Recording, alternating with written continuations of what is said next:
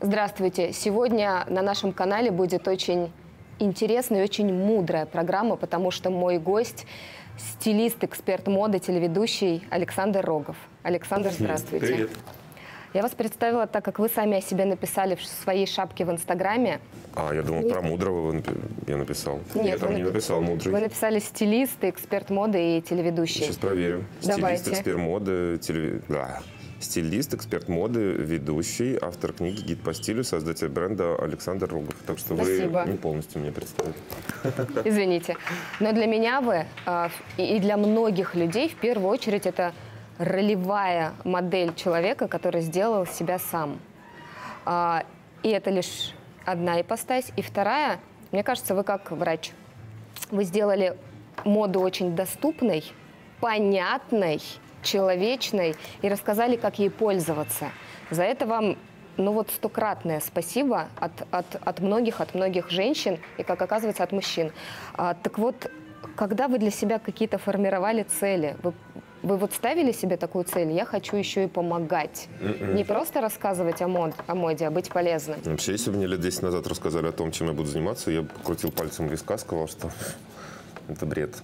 А сейчас, видите, все по-другому, поэтому пути Господни неисповедимы. Ну, на самом деле, тебя просто что-то ведет, и просто нужно следовать за какой-то своей внутренней или, или внешней звездой. У меня были вообще другие цели. Я собирался заниматься только высокой модой, делать какие-то сложные фэшн-съемки, работать с моделями. Даже со звездами не работал, потому что считал, что ну, это слишком банально. А потом как-то все постепенно начало переходить в новое русло, и я подумал, что, наверное, было бы неплохо это попробовать. Но даже, опять-таки, э, отправляясь работать на телевидении, у меня не было цели э, быть полезным, кому-то помогать. И вообще я занимался исключительно самолюбованием. Хотел, чтобы меня показывали по телеку, подходили на улице, здоровались и э, фоточки со мной пилили. А теперь это самое жуткое, что вообще в моей жизни присутствует, это узнавание на улице и фотографии и селфи. Конечно, это приятно. Я сейчас не буду а, кривить душой. Естественно, в какой-то степени, э, идя по улице, ты получаешь удовольствие, когда понимаешь, что люди тебя узнают. Но ты лишен абсолютно своей внутренней свободы и внешней свободы. Ты не можешь позволить себе что-то, что себе может позволить человек непубличный. Понимаете? Но ты идешь этом- по улице, а у тебя нет возможности, не знаю, пройти мимо и отказать фото. А когда ты отказываешь, тебе кричат в спину, что ты хам, урод, и что о тебе были совершенно другого мнения. Хотя в этот момент ты просто не обязан ни с кем фотографироваться. Я нахожусь в своем личном пространстве и в данный момент не веду телепередачу, не работаю на сцене и, например, не а, делаю фан-встречу. Вот и все. Две вещи напрягли. Первое, разве вы когда-то отказываете фото? Потому что я Да. многократно видела, как вы в неподходящей ситуации говорили, ладно, окей, только быстро. Я иногда говорю, ладно, окей, только быстро, а иногда я отказываю фото по разным совершенно причинам, по э, причине бестактности попросившего фотографии. Я могу отказать фото человеку, который явно фотографирует со мной просто потому, что он где-то меня видел, даже не знает, кто я. А иногда я спрашиваю, знаете, как меня зовут, и мне говорят, ну, где-то я вас видел. То есть это не причина сфотографироваться. Если человек подходит то душевно, мило, рассказывает тебе о том, что он тебе благодарен за то, что ты делаешь, конечно же, он получит и фото, и обнимашку, и приятные слова. Когда это просто а, в череде других фотографий кто-то видит, что кто-то с кем-то фотографируется, он тоже подходит, потому что это просто цепная реакция, я могу отказать. Вчера на одну женщину такую милую наорал. Мне даже до сих пор стыдно. За что? Ну, она, там уже был поток людей, я стоял в очередь в ресторан, я хотел есть, я был голодный, все все равно ко мне подходили, это было 10-15 человек, она была уже 16 и я просто не выдержал, ну, потому что люди, можно эту тему поднять вообще, что люди в нашей стране потеряли связь а, между реальностью, воспитанием и просто желанием сделать это дурацкое селфи. Вообще селфи всех испортило, мне кажется. И многие не понимают, что а, иногда про- гораздо приятнее известного человека увидеть и понять, что вот он рядом с тобой, и, возможно, ему что-то сказать, пожать ему руку и зафиксировать это событие, нежели сделать этот дурацкий снимок э, с пустым взглядом в камеру. И все просто слетели с катушек. Я хотел бы, наверное, чтобы в нашей стране этот вопрос поднимался чаще, потому что, например, в Америке фотографироваться со знаменитостями не принято. То есть, если человек находится в своей частной ситуации где-то, а, и ты его даже узнал, ты не имеешь права к нему подойти и попросить о селфи, потому что это неприлично. Потому что в данный момент человек не работает, в данный момент человек не дает интервью, в данный момент человек не презентует, не знаю, некий свой проект и так далее. Поэтому он находится в контексте своего а, личного времени. А, единственное, что можно делать, это папарацци фотографировать знаменитости, потому что есть такой внегласный закон, что если ты известный человек, тебя можно сфотографировать. Но нарушать твое личное пространство неприлично. Поэтому я хотел бы, чтобы мы эту тему поднимали, и чтобы люди вспомнили все-таки о воспитании, такте, или ты сидишь, ешь в ресторане, вот с ложкой во рту к тебе могут подойти люди, попросить о снимке. И при этом ты должен улыбнуться и это сделать для них. А когда ты отказываешься, ты слышишь в свой адрес... Э, вот это прям серьезно. слышали, да, прям ну, слышали. в Самаре мы сейчас были, снимали финал программы а, возле ладьи, это их э, одна из достопримечательностей. Да, мне в спину кричали, что я хам, урод, и вообще по телевизору я такой добрый, а вот в жизни нет. Вы умеете это пропускать? Ну, какие-то моменты ранят, я могу об этом неделю думать. Вчера обидел женщину, даже если вы сейчас смотрите а, и помните, что это я, пожалуйста, простите, меня не хотел вас обидеть. А, не умею. Это хорошо, это значит, вы живой. Ну, наверное, да. Опасная вообще, как оказывается, профессия стилиста – Мало того, что оскорбляют, мало того, что могут не понять, вторгнуться в ваше личное пространство, потому что вы делаете все для того, чтобы быть максимально открытым, но в доступных пределах. Ну, так тут, еще и угрожают, если что-то не понравится. Ну, тут просто проблема именно в том, что я для людей заложник своего телевизионного образа. Естественно, я солнечный, волшебный, прекрасный, берущий за руку и обнимающий. И я, правда, это делаю искренне. То есть все, что я делаю для героев, я делаю от чистого сердца, а не потому, что у нас написанный сценарий, в котором указано, что Александр Рогов должен 23 раза за программу обнять героев, э, поцеловать и сказать 7 комплиментов. Я это делаю от души, для героя, который ко мне пришел. Но, естественно, зрители, видя это на экране, считают, что я такой же в жизни. Да, я тоже добрый и позитивный, но я могу в жизни быть и э, расстроенным, я могу быть рассерженным, я могу быть уставшим, я могу быть занятым. И многие не, не а, отделяют тебя от твоего телевизионного образа. Вот и все. Вы будете отслеживать дальнейшую, вот очень долгосрочную судьбу этих героев? А зачем? Ну, через год, например. Ну вот вы все привыкли, что мейковер-шоу дают такие пафосные э, обещания, обещания что да. мы преобразили тебя, и теперь твоя жизнь будет прежней. Я никогда этого в кадре не говорю. Угу. Я говорю, ты сейчас в этот вечер увидела себя нереально красивой. И теперь ты после этого вечера сама должна решать, ты запал, который я тебе дал, используешь для того, чтобы свою жизнь реально изменить, или не используешь. И честно, это не мои проблемы уже, использует человек это или нет. Потому что я все, что мог сделать в контексте конкретного шоу и конкретной жизни человека, я сделал. Мы подарили Тане мешок одежды. Это не просто лук, туфли и платье, это реальный гардероб. Мы подарили Тане кучу подарков. Таню будет сопровождать местный визажист и парикмахер в течение года бесплатно. Она может пойти на курсы, научиться макияжу, увидеть, как это все делается. Может сходить к парикмахеру и обслужиться у него бесплатно. Мы дали Тане огромное количество советов, позитивных каких-то моментов. А, открыли ей глаза на свою привлекательность и внешность заново. Я понимаю, что я задаю вам вопросы, они у вас вызывают удивление, потому что для вас, ну как это, кому я вообще что-то могу перепоручить? Я сам хозяин всего, хозяин своей жизни, сам отвечаю за тот продукт и за каждую мелочь в своем продукте, которая есть. И для вас она не мелочь. Вам, вам вот трудно за всем этим уследить? Нет. Я вообще кайфую просто невероятно. Ну, во-первых, конечно, я делаю все это не один. А важное умение любого человека, который является основным, например, в команде, это делегировать. И, конечно, у нас есть огромное количество людей, которые выполняют определенную работу. Я им доверяю и не люблю перепроверять качество сделанного продукта. Соответственно, у нас есть редакторы, у нас есть дополнительные продюсеры, у нас есть мои ассистенты, которые помогают мне с одеждой. А, хотя всю одежду выбираю я в магазинах сам, и мы покупали одежду здесь, в Екатеринбурге, специально из Москвы для героини ничего не привозили, либо не знали даже, как она выглядит, кроме лица. И у нас не было ее мерок размеров.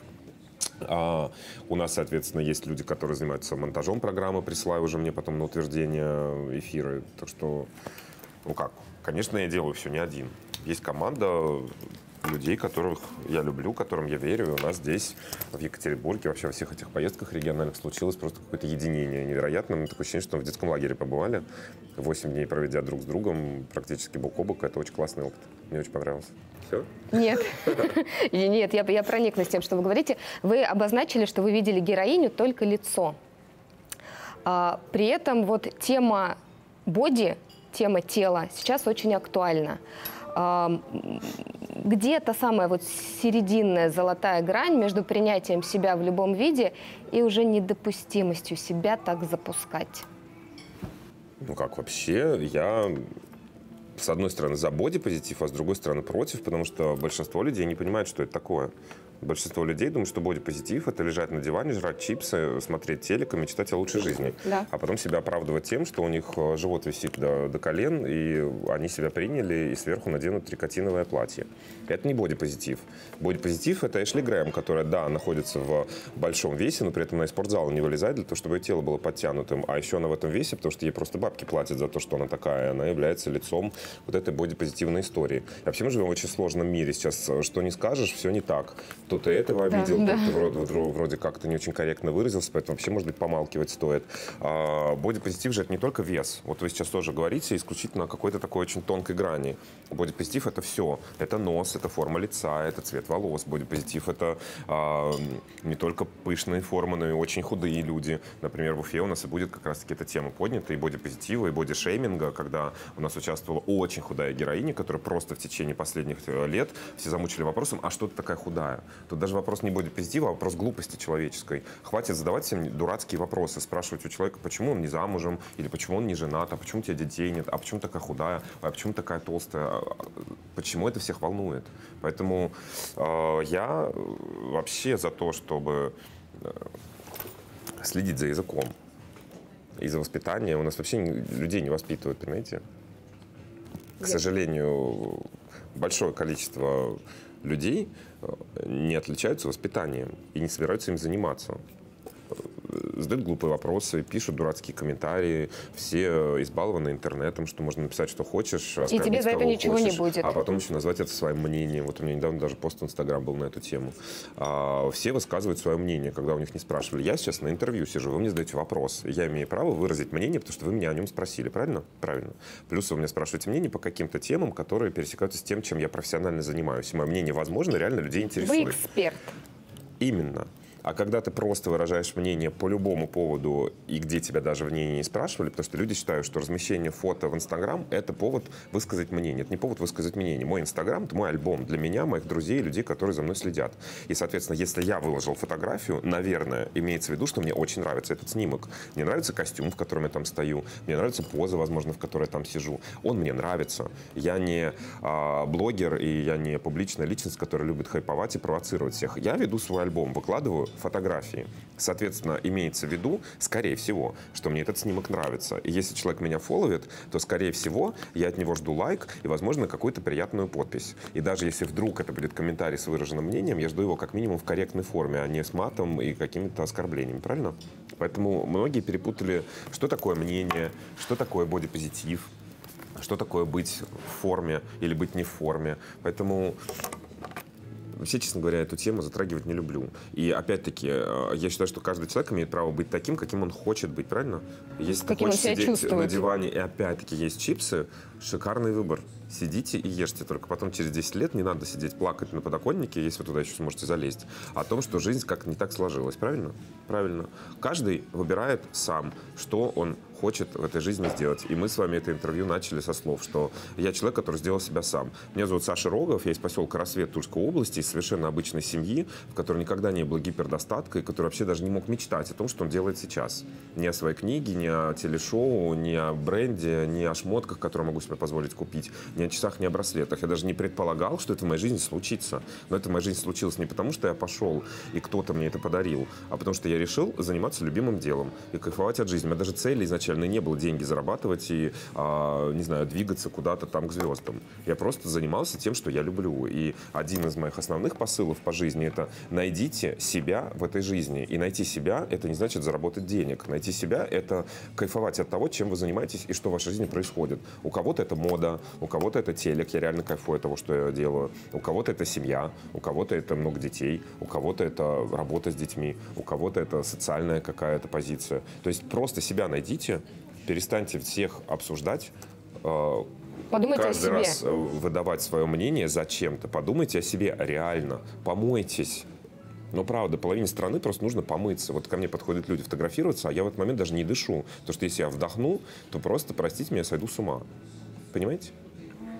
Как вы думаете, это корректно человеку? Вот, вот он пришел, вы почувствовали, сказать, слушай, ну меня-то хоть послушай. В баню-то сходи. Нет, ну а вы считаете, что нужно мучиться и сидеть э, с тем, кто воняет, и терпеть это? Я наоборот считаю, что от кого, от кого, а от вас, может быть, это услышат. Им могут 10 человек говорить и не услышат, а от вас услышат. Ну, Вы говорите? опять-таки, нужно понимать, что э, есть так называемое правило уместности.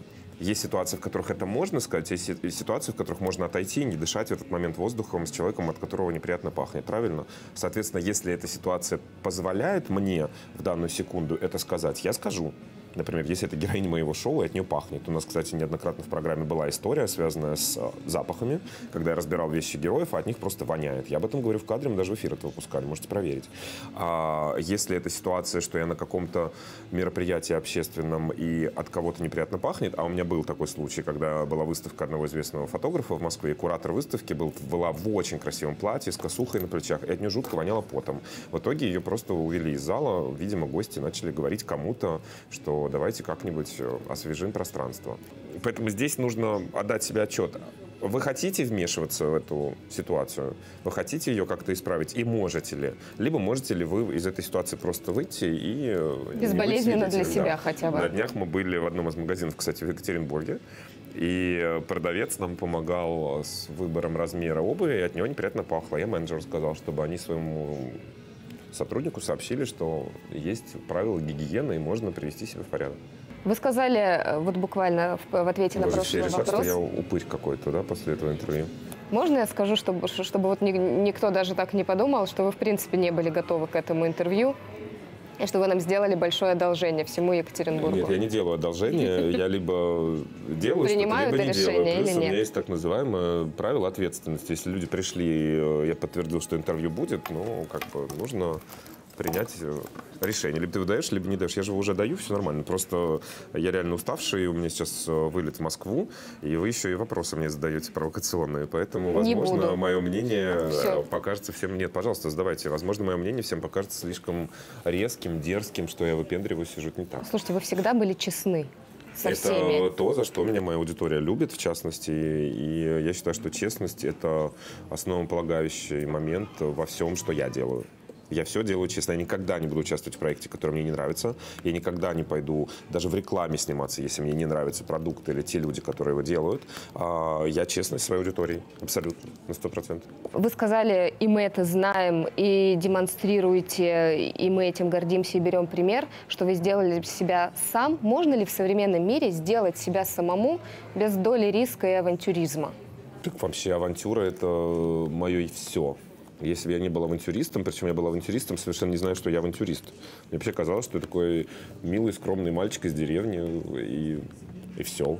А сейчас уже по прошествии, боже, там 15-20 лет, я думаю, боже, какой я был авантюрный, как я мог вообще вот это сделать, как я мог это сделать, вообще как я мог туда попереться, еще вот это сказать, и, и в итоге вот получить то, что я получил. Поэтому авантюризм – это вообще, мне кажется, важнейшая э, способность человека в России точно важнейшая для того, чтобы построить карьеру и добиться каких-то результатов. Потому что в нашей стране почти ни одной индустрии нет. Индустрии моды не существует. Да, она есть в зачаточном состоянии, глянец, который как-то там уже не понимает, что ему нужно делать, мода, русские дизайнеры. Но правил нет. То есть ты можешь быть никем, а послезавтра стать всем просто потому, что с пра- с правильным человеком познакомился. А возможно, потому что ты что-то где-то там написал или что-то где-то сказал. Поэтому авантюризм это очень важно.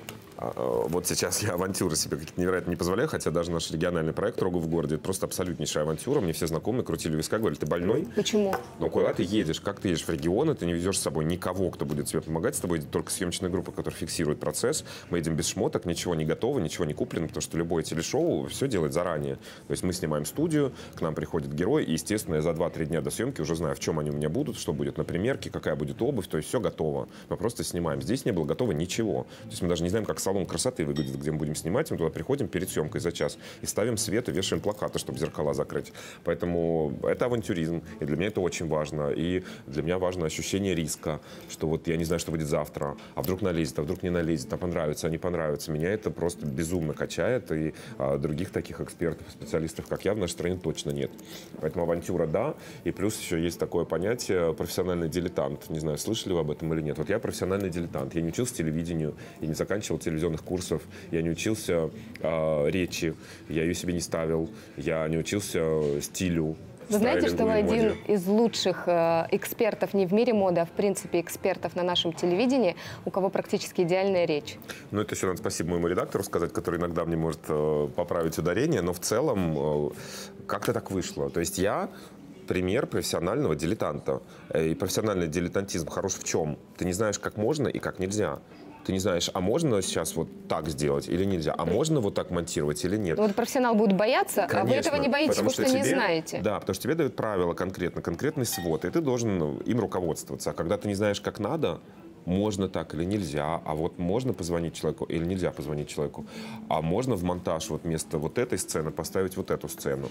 А, и у тебя все получается, и в моде то же самое. Тем более стайлинг — это вообще профессия прикладная. Ты если руками своими ничего не делал, тебя может 25 человек учить, и ты можешь 35 курсов пройти, но это совершенно не значит, что ты станешь специалистом. А вот если ты ручками делаешь, и одного нарядил, и второго, и юбочку застегнул, и туфли пять раз надел, вот у тебя опыт появится.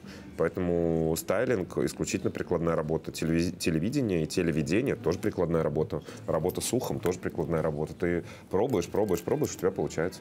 Вот и все. А самая запомнившаяся авантюра вот в начале вашего пути была с берлинским стилистом, с двумя берлинскими Ну, вообще стилистами? две сцены, собственно, в моей жизни авантюрные. Обе авантюры связаны с Берлином, как ни странно. Первая — это когда я а, по знакомству пошел устраиваться на работу в реалити-шоу «Голод». Его ТНТ показывал. И я пришел, наврал, что я монтажер, меня взяли, привезли в Берлин, и в монтажке выяснилось, что монтировать я не умею. А меня, собственно, собственно, должны были депортировать, но, опять-таки, дух авантюризма не дал мне а, лишиться этой работы, и я был назначен ассистентом режиссера и, собственно, проработал там. А расскажите, что вот конкретно в этот момент, когда выяснилось, что вы не можете, вот что случилось? Вы сказали, покажите, я сделаю, Нет. научите ну, меня. как, я же знал, что я не могу. И меня посадили. Ну, как бы я думал, что я, монтажка будет, там будет две кнопки, я буду делать вот так. Но когда выяснилось, что это пять мониторов, а перед ними стоит клавиатура, и даже нет мышки, все делается кнопками, естественно, я понял, что как бы ну, тут не получится ничего. Но у меня была попытка вы- вытянуть ситуацию. Я пошел в соседнюю монтажку и попросил инструкцию по применению к этому Бумажную? агрегату, да, и мне выдали три вот таких вот талмута, сказав, ты зачем? Ну, я сказал, естественно, что я там одну кнопочку забыл, мне надо посмотреть. Но я сел с этими талмутами, просто сидел в монтажке, пока не пришли продюсеры и сказали, «А, давай загоняем материал, все выкладывай на линейку, начинаем резать. Ну, естественно, по мне было видно, что я этого не буду делать. Но меня отвели в сторону, сказали, ты не умеешь. Я сказал, я не умею. И они, на самом деле, э, это опять-таки э, вот «Голод» и работа на ТНТ на этих двух проектах, это был «Голод» в Берлине, «Голод» в Нью-Йорке, я, собственно, сделал вывод э, о том, как себя, в принципе, надо вести, когда ты высокопоставленный человек на проекте. Я сейчас также общаюсь с моими подчиненными. То есть меня не линчевали, на меня не орали, меня не оскорбляли. Мне сказали, Саш, ты понимаешь, что ты нас подставил? То есть мы сейчас тебя привезли одним из трех монтажеров, которые собирают реалити, которые выходят в эфир каждый день. Ты нас просто подставил. Это неправильно. То есть надо было изначально сказать, на какую позицию ты хотел бы претендовать, мы бы тебя взяли. Ты нам наврал. Поэтому... Выкручивайся. а, не выкручивайся, мне сказали. Поэтому это, ну, как мне объяснить, что это нехорошо? То есть я больше так, как там, никогда не врал. То есть нельзя врать о том, чего ты не сможешь сделать. Вот и все. Меня посадили в коридор, три дня там сидел, мне сказали, просто нам некогда сейчас с тобой заниматься, мы через три дня тебя отправим обратно, поэтому просто пока сиди здесь. И дальше уже был авантюризм, когда я сидел там, и меня прошел Борис Юхананов, режиссер проекта на тот момент, который орал на продюсеров, почему мне не привезли ассистента. Я сказал, ребят, я сижу тут три дня, давайте я буду ассистентом, я говорю на немецком, я говорю на английском, съемки шли в Берлине. Я смогу общаться с частью съемочной группы, кто живет в Германии. И меня поставили просто на два дня помочь. И за эти два дня э, в мои задачи вошло доказать, что я достоин остаться на этой позиции. Я был главным ассистентом режиссера в итоге. Увидели, что у вас менеджерские навыки, что общаетесь хорошо, подход к людям ищи, находите, да, и, да, и все. и я там сложилось. начал себя применять. И вторая история. А вторая история, естественно, с берлинским стилистом. Но здесь уже были сделаны выводы. То есть я не врал про то, что я не могу. Да, я показал чужие работы вместо своих. Да, я сказал, что это мои съемки. Но я показал те съемки, которые я искренне хотел бы сделать сам и теоретически сделал бы, если бы у меня был доступ к вещам, к моделям, к обуви и ко всем этим аксессуарам. Поэтому тут в Раково уже была такая, знаете, заманушка. То есть мне нужно было наврать, показать портфолио, а потом доказать, что я реально это смогу сделать. Вот, доказал же. И вы со студентами своими тоже вот так же потом общались, что э, для начала принеси мне то, что тебе нравится у чужих. Ой, прям прочитали все мои интервью. Это Молодец. Да? Спасибо, да, я старалась. Но я потому что знаю, что вы проверяете всех. Вы проверяете тех, кто с вами фотографируется. И вчера проверяли, какие они программы ваши видели. И Конечно. журналистов проверяете. Конечно. Не, ну а что мне тратить время на людей, которые к интервью не готовятся? Я могу уйти с интервью, если я понимаю, что человек просто пришел, задает вопросы из головы. Слава богу, что меня еще пока не спросили о трендах сезона. Вот я не надеюсь, и не спросите. Нет, я не спрошу. Не, не планировала, клянусь. У меня другой вопрос. Вы человек яркий во всем. Вы ведете себя ярко, вы чувствуете себя ярко, я уверена почему-то в этом. И вы выглядите ярко. Никогда не было у вас в жизни такого, что я вот лучше поскромнее вот сейчас, потому что не хочу, чтобы меня вообще замечали. Знаете, даже если я захочу, чтобы меня не заметили, это все равно не получится. Вот сейчас для меня я одет, чтобы меня не заметили. Я уже обратила Я внимание. просто в кожаной куртке, я в спортивных штанах и в кроссовках. В принципе, так ходят все. Но вопрос-то в другом, что внутри. Ну, вы понимаете, что вы крупный, и я не про размеры. Да ничего я не понимаю. Мне хочется иногда быть незаметным. И мы на днях обсуждали, собственно, с моими ассистентами, особенно после очередного забега по магазинам, где ты 20 минут из 40, которые у тебя есть на шопинг, фотографируешься с людьми, потому что я очень добрый, на самом деле, человек, и почти во всех ситуациях скажу, да, конечно, можно а, сфотографироваться, я имею в виду. Мы опять, видите, на тему селфи зачем-то перешли. Мы вчера обсуждали, что либо мне надо купить маску, знаете, такую, Медицинскую? ну, есть медицинская, а есть бренды, которые просто а медицинские маски выпускают. В Японии очень модно ходить в таких эм, тканевых масках. Например, Оля Серябкина из Серебра всегда путешествует только в тканевой маске. Ну, во-первых, чтобы ее не узнали, во-вторых, она такая очень осторожная, чтобы не было никаких бацилл вокруг. А вот купить тканевую маску, у нее будет прикольно, есть такой бренд Off-White, такая просто черная с таким крестиком здесь.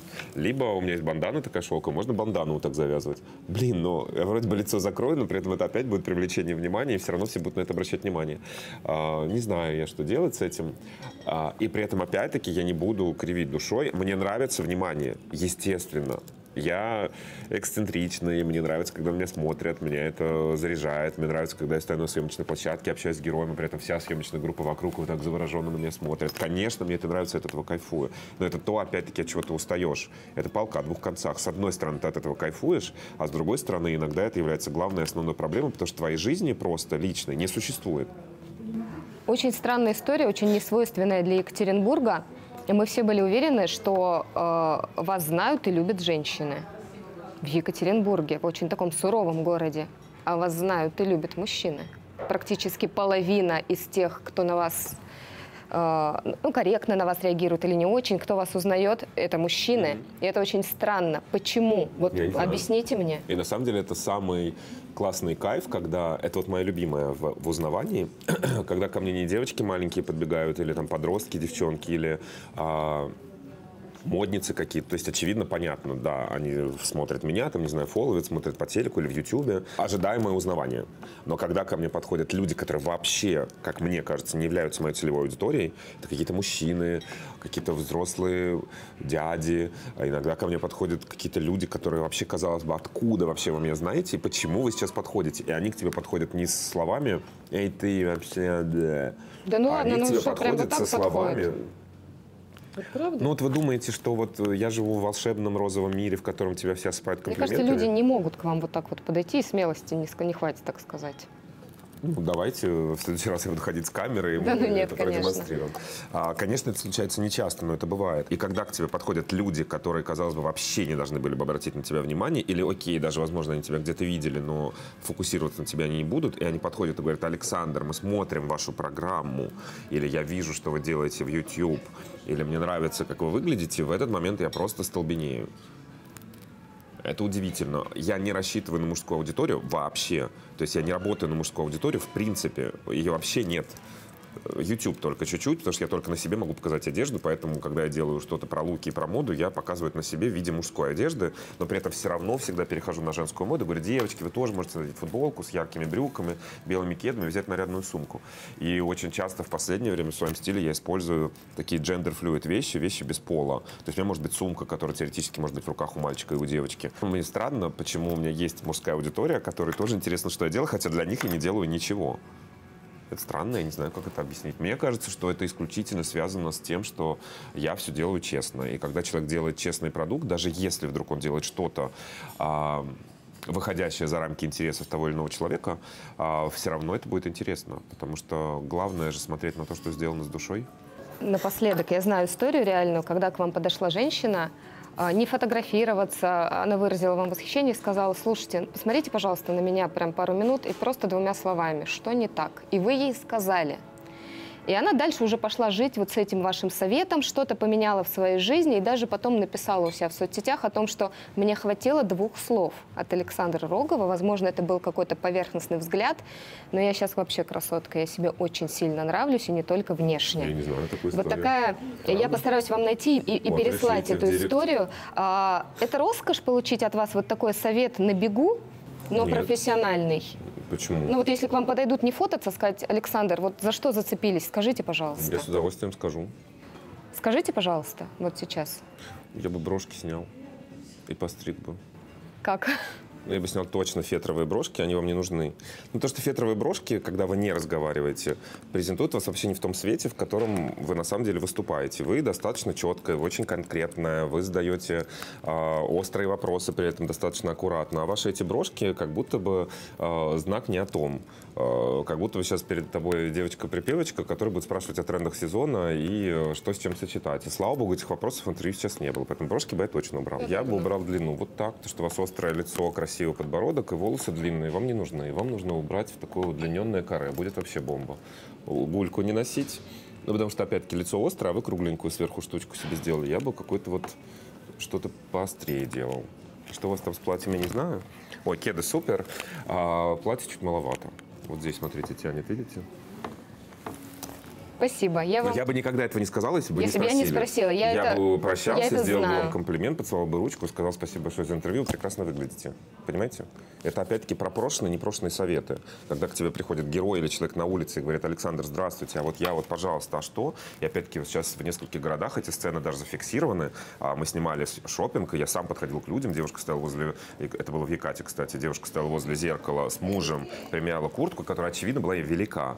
Я подошел, сказал, девушка, куртка вам велика, вам нужен размер меньше. И она реально лежала рядом, и муж настаивал на размере меньше. Я решил конфликт семейный, понимаете? Она купила ту, которую я посоветовал. В другом городе была женщина, она стояла в другом магазине, примеряла широкий пояс, спросила, можно ли ей широкий. И он ей по правилу соразмерности подходил, и я сказал, конечно же, что его надо взять. То есть я советы даю с удовольствием, и на меня на самом деле это повлиял, в этом повлиял именно Нью-Йорк, потому что когда я жил в Нью-Йорке, я понял, что там люди совершенно по-другому реагируют на незнакомых. То есть ты можешь идти по улице, встретиться взглядом с кем-то, этот человек тебе говорит, классно, you look cool, you have sunglasses, I dream of it, uh, you have nice shoes. То есть тебе просто все время делают комплименты. Все время. И не потому, что они перед тобой заискивают, они даже не знают, кто это. И не знают, не кто знают, ты. что они тебя не увидят Они через просто тебя видят и минуту. говорят, вау, cool, nice, lovely, вау, smile. Очень классно. Поэтому я с удовольствием людям делаю комплименты. Я каждый раз, если ко мне кто-то подходит, даже это уже в шутку переросло, спрашиваю, как человека зовут. Мне там девушка отвечает, например, что ее зовут Анастасия. Я говорю, «Ой, вам очень идет ваше имя. Знаете, как люди улыбаться начинают?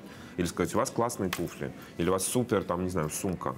Мне ничего не стоит это сделать. Вот вообще ничего. Я через полчаса вообще забуду, что я это сделал. А женщина, которая когда-то в проброс что-то сказала, и даже этого сейчас не помню, жизнь свою поменяла, понимаете?